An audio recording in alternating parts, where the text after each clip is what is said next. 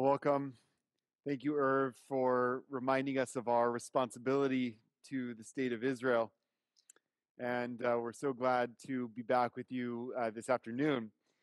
Yom Kippur calls on us to candidly confront and acknowledge the brokenness in our lives and in the world, to see with clarity our own and our society's faults and failures, shortcomings and wrongdoings, missteps and mistakes and to commit ourselves not only to repairing what has been broken, but to charting a better course moving forward.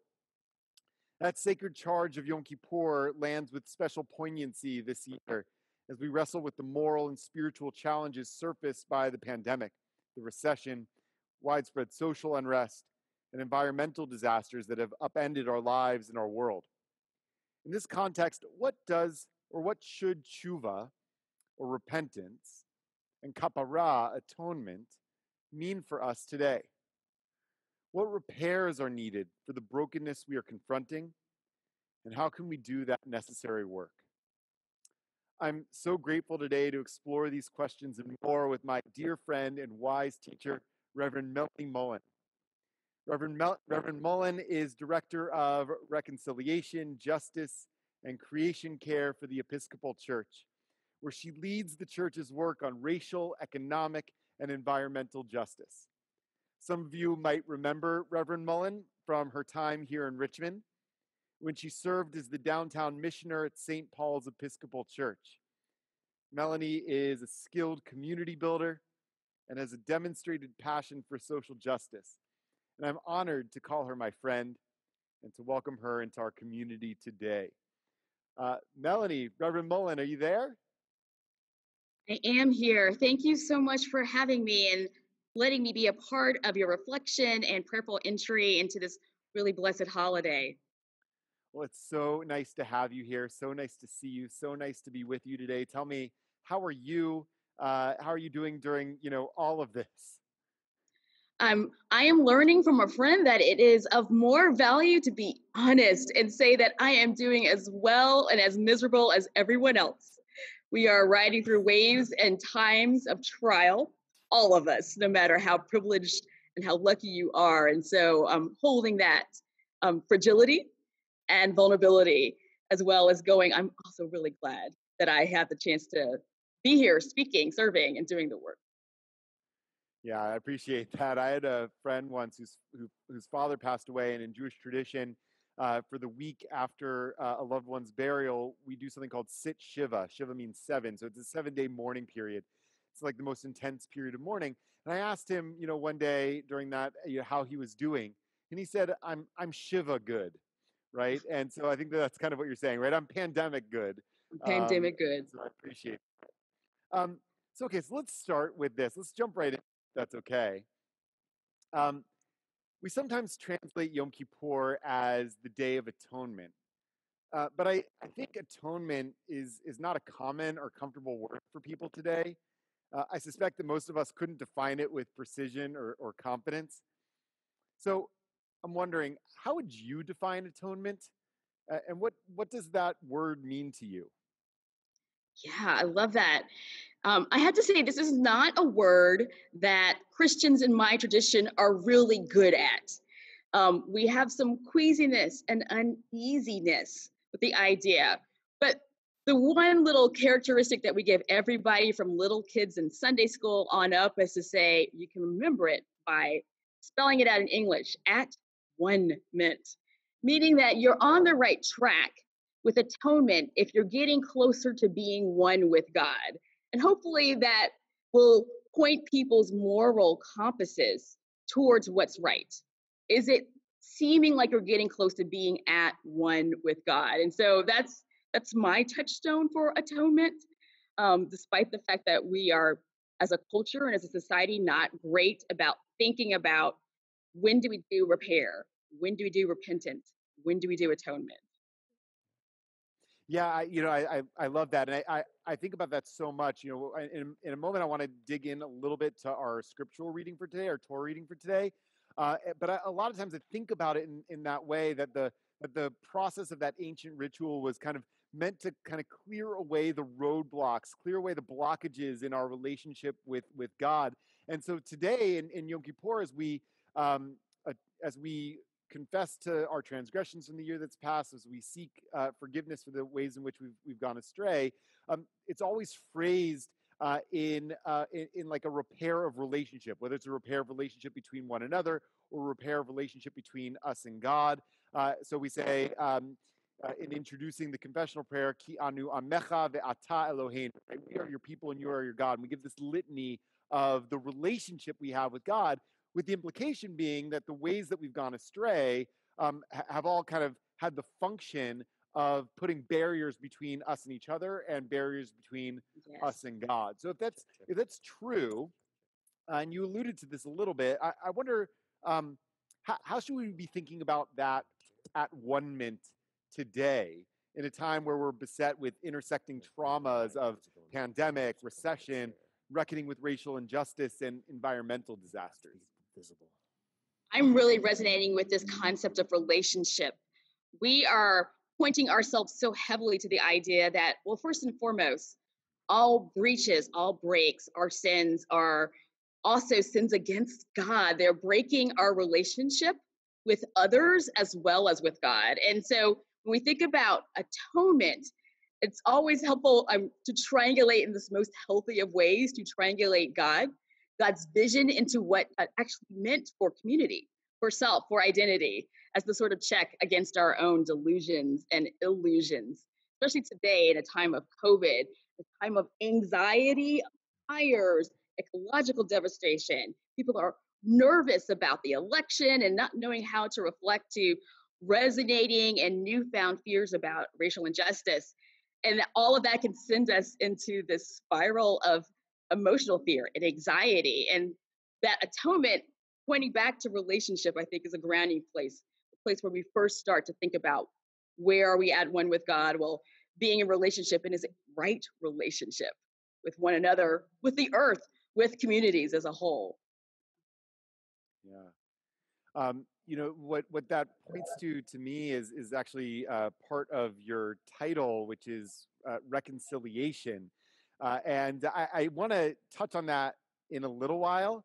Uh, so I want to like maybe put a pin in that because uh, I, I, really do want to explore that. But I but I want to um, uh, hone in on the uh, theme of, of racial justice for for a moment, and uh, I want to do it by by taking a slightly deep and like Bible nerd dive into the uh, Torah reading today, the scriptural reading for today, which is from Leviticus chapter 16.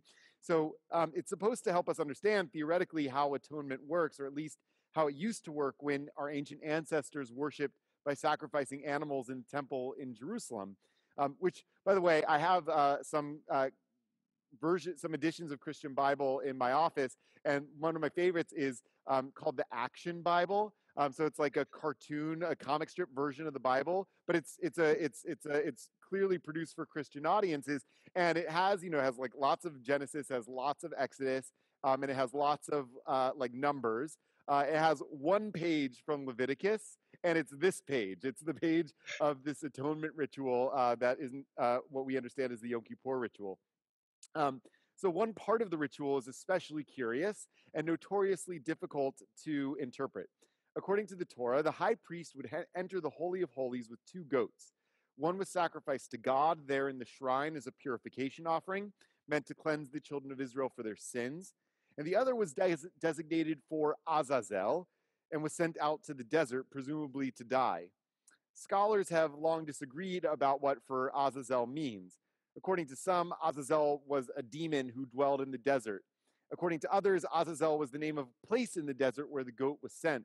And others say that Azazel refers to the status of the goat, a contraction of the Hebrew words az, which means goat, and azal, which means goes away, meaning the goat that goes away, or, or scapegoat as we call it today.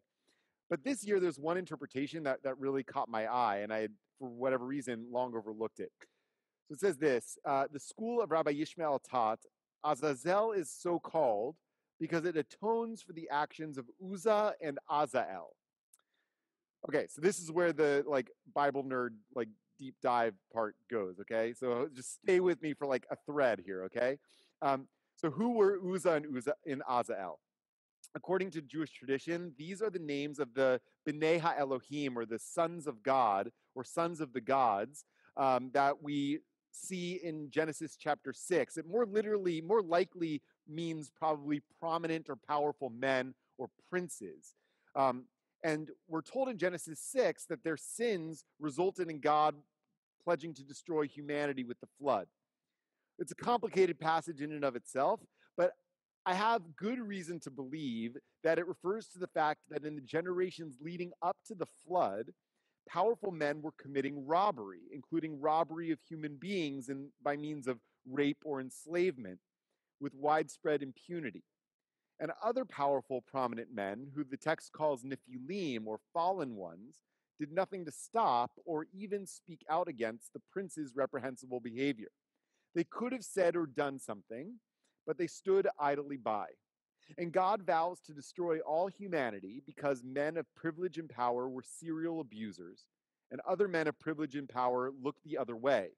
And it stands to reason that when the average person saw that a crime like kidnapping, enslavement, or rape could be committed with impunity, then they too probably felt free to cast aside norms and perpetrate whatever abuses they desired. So, according to the school of Rabbi Ishmael, the scapegoat is sacrificed thousands of years later as an annual act of communal atonement for that ancient sin. So it begs the question to me why should people who aren't guilty of a crime, indeed, they weren't even alive, right? They weren't a glimmer in their mama's eye uh, when the crime was being committed, still bear responsibility for that crime? Why did the children of Israel have to atone for the sins of their ancient ancestors whom they never knew. And it strikes me that that same issue is before us today. We both come from religious communities that um, have complicated relation have complicated histories when it comes to racial injustice.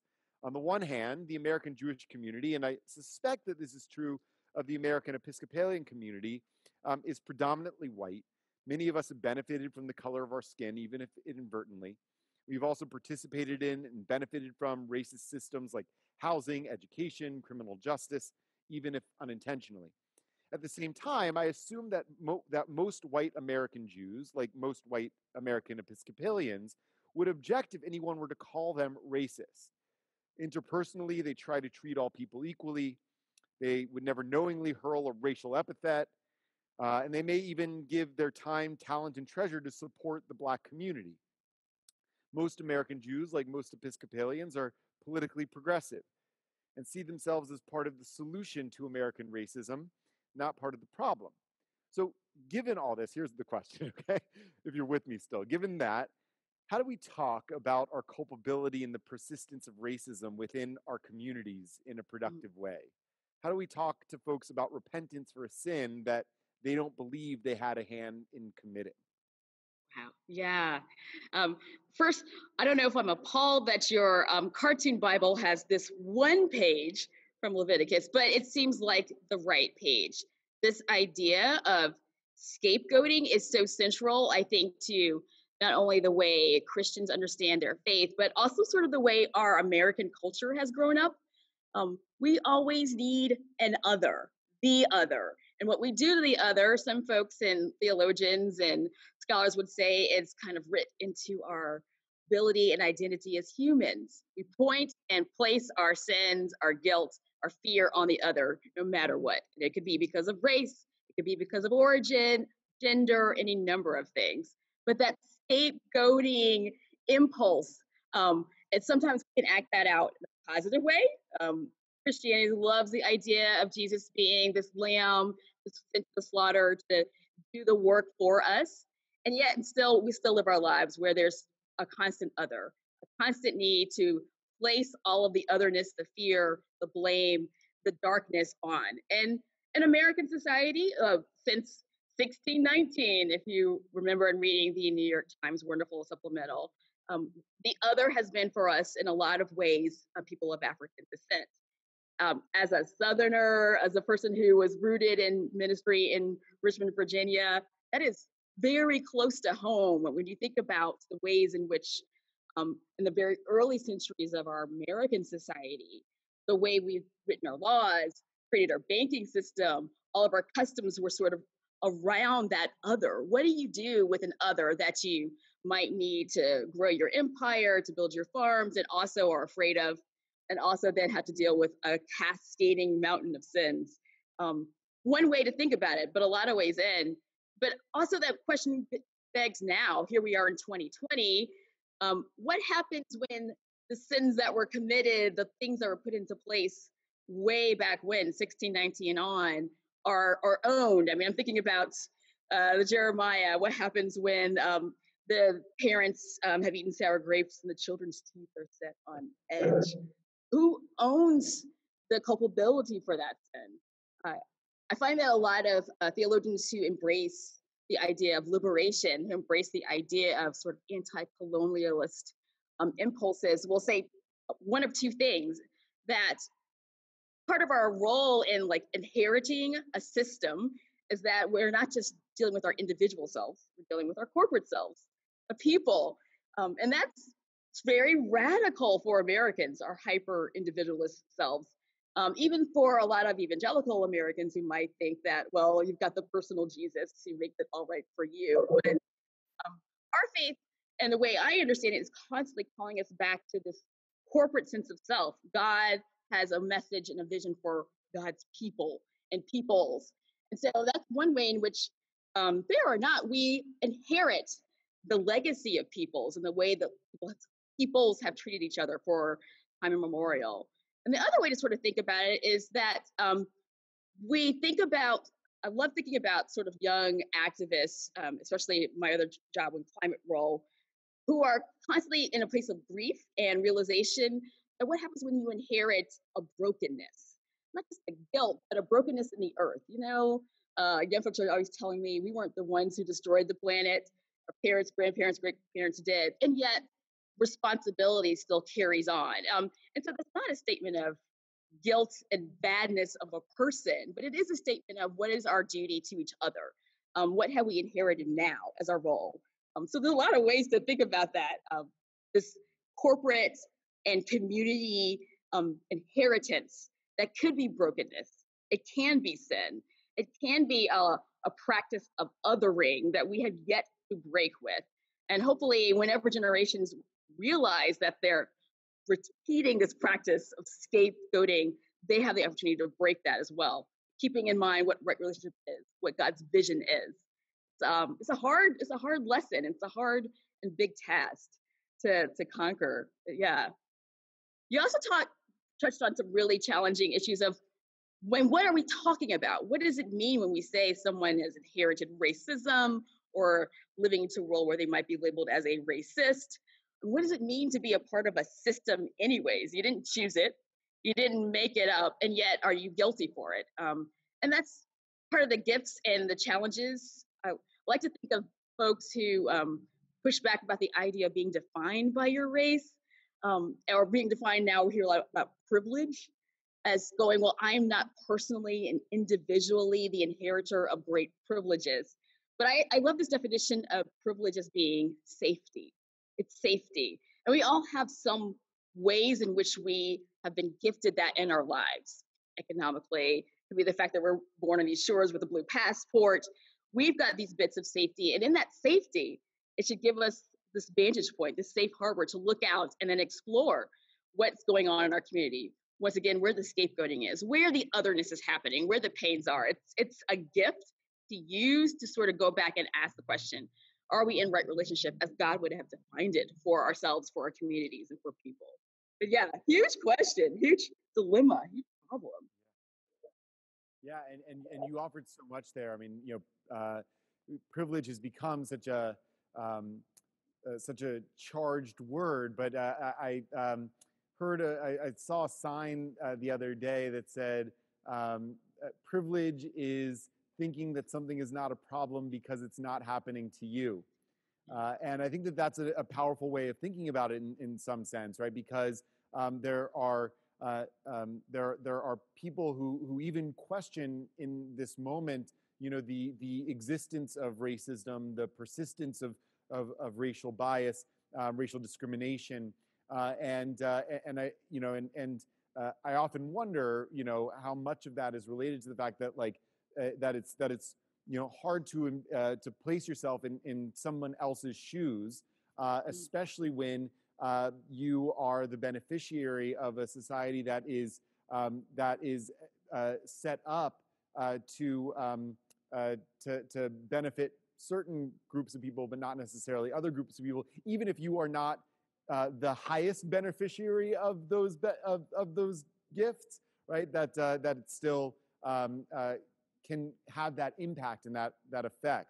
And, and you touched on something else uh, in your answer that I think is really important for us to think about on Yom Kippur, uh, which is you know when we when we confess to transgressions on Yom Kippur, at least in the kind of formulaic way we do it i- within our liturgy, we confess in the plural, right? We say ashamnu, we we are guilty, uh, bagadnu, gazalnu, we have done all these things, and that means that we're confessing for things that we as individuals um, haven't necessarily done, right? And it, so it calls to mind what uh, uh, Rabbi Abraham Joshua Heschel said uh, famously that um, uh, that some are guilty, but all are responsible, right? You may Mm. not have actually uh, committed the transgression, um, but we are all guilt. We are all responsible for sort of cleaning up the mess um, in the wake of those transgressions having uh, having acted, or or being part of a culture that permits certain kinds of things to continue to go on.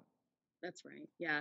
Yeah. I think that's where um, I love that idea that Episcopalians and um, conservative Judaism are in agreement that we also pray our confessions and make our statements of beliefs in the plural and tell one another that if you can't believe one of these lines now, it's the us, it's the corporate us that does it for you. Um, and same thing with our sins and our transgressions. Um, we can list them a mile long, but it's not just our individual selves, it's our corporate selves and not just in this time, but across history, that's a part of it. And, and history is a big part of thinking about where we are with the brokenness in our culture in regards to race. It, we're not in one point in time. And so when we're thinking about the usness that created the, the narrative or the social construct of who we are, the laws we live in, and what we've inherited, we're thinking about the past, the present, and the future all together. We're part of this community um, of saints or people have gone on, as well as holding ourselves with the people the future.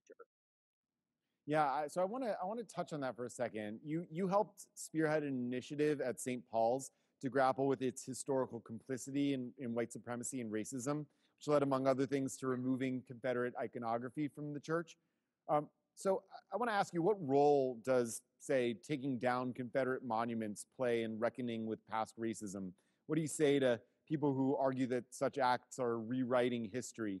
And what do you say to those who argue that centering white supremacy and racism in a telling of American history, like with the 1619 Project, is um, un-American propaganda. That may or may not be a quote from uh, one or another elected official. Uh, what role does or should history memory play in, in understanding the present and in charting the future? Yeah, I um, this is area very close to my heart and um, close to the work at St. Paul's that's still going on. I, I think once again, there's a little bit of a great perspective of folks who live in the South to see this really clearly that we both inherit a history that can be um, turned into context for good or for evil. Um, the work that folks in a religious context, like at St. Paul's, we can think really specifically about beautiful stained glass windows, show and it, the stories from the Bible. There's two story windows showing Moses leading the people, looking at Mount Nebo.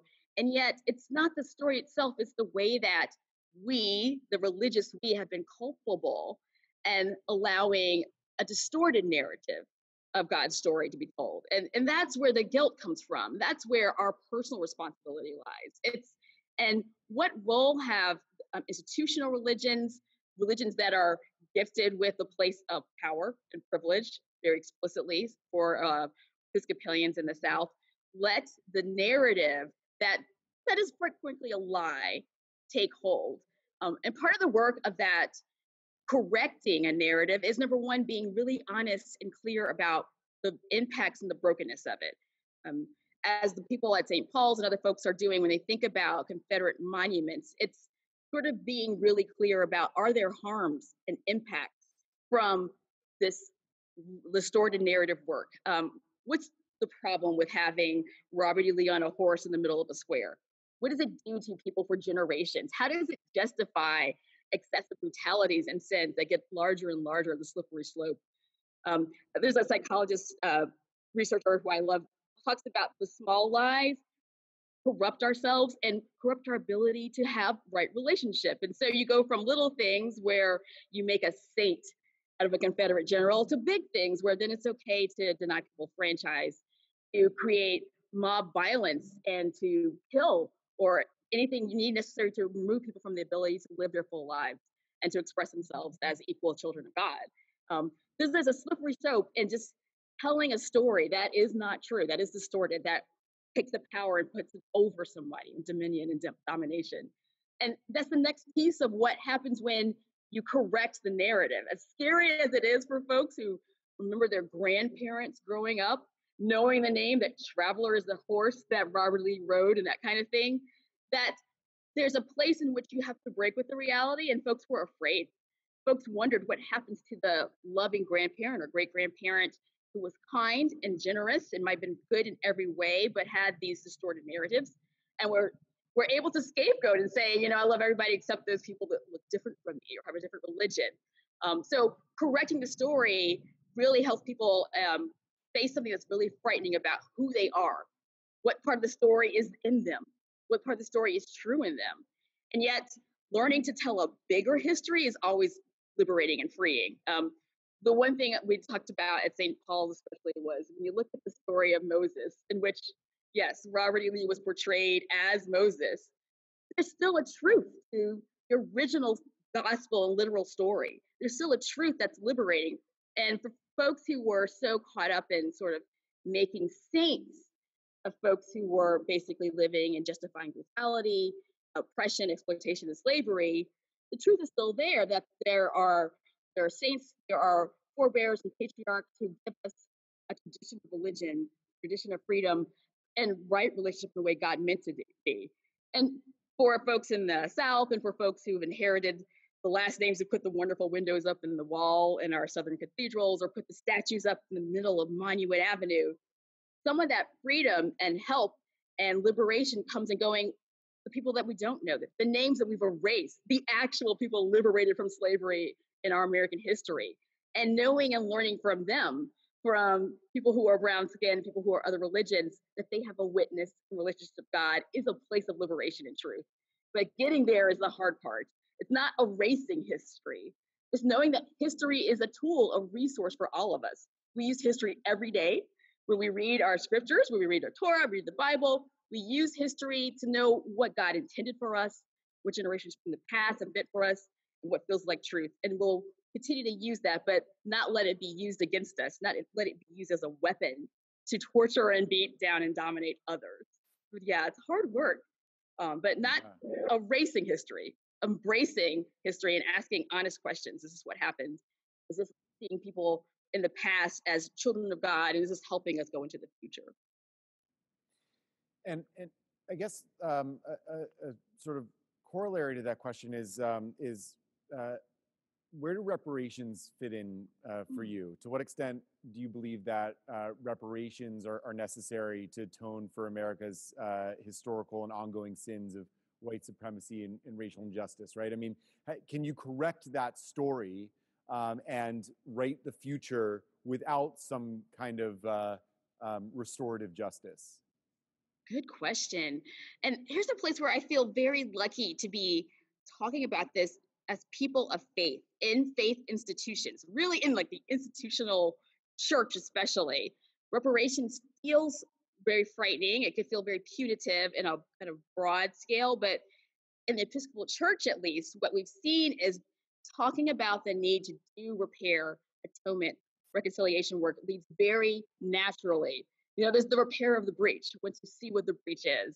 And people who hold history very seriously, we hold it as important, are able to trace our history, not just our biblical history, but literally our financial history. Um, Episcopalians are sort of on the march with devoting um, to our diocese or sort of our like, statewide groupings. Um, many of them are creating resolutions and making attempts to think about the forensic accounting. Where do we get this money? These properties, what allowed us to do this building of schools. And it's a hard history. For a lot of us, we can trace the growth of some of our institutions, our beautiful churches, our cathedrals to enslavement, the slave trade. We can do the forensic accounting because we're good at it. We write everything down and know that our wealth comes from ill-gotten gains and um, are able, without a whole lot of um, pushback, to then devote, as they've done in Maryland and Texas, and New York, and in um, Virginia schools, to say we are going to go ahead and lean in. Well, we're sitting on endowments, we're sitting on investments. We will commit right now to mark those as reparations. And I think that's a model for our secular world as well. Um, but we can teach that to do sort of the the moral accounting of what we've gotten and where it came from, and then devote and say that we're not going to repair the breach unless we invest in some way. So reparations could look very different. Um, if you're in a school institution like a seminary, yes, you can point to children, people of color, and give them scholarships. But what does it look like for a whole state of churches, whole diocese? That's part of the work they're exploring together. But much like sort of our conversations about people saying defund the police, uh, when that turns into how do you reimagine where gifts and money and investments go? It's about reimagining a future that builds something very different from the past. So I think that's the creative work that once people trust each other and do that bold work, they can do together. But yes, repairing and doing that reconciliation work depends on reparations of some kind, but we have to devise that together. Right. So I love that creating a future that looks different from the past. I think is at the heart of what we talk about during the High Holy Days of of tshuva, right? Uh, which literally means to turn, right? So to go in a different direction than where you've been before, and uh, and and so many uh, of the uh, of, of, the ancient medieval uh, sages say that there's no such thing as tshuva without honest confession and full restitution, um, right? And so I think that that's true in this case too, and I think I love that that we as as uh, religious communities um, have a have a witness and a model for this. Um, that, uh, that that there really can't we can't just say well you know what's past is past and we got to move on forward from it um, there, there, uh, you can't actually move on forward in a meaningful and constructive way without addressing the harm that was done because that harm continues to pull you back into the past. So right. I, we're, we're almost out of time. I, we could go on forever and ever,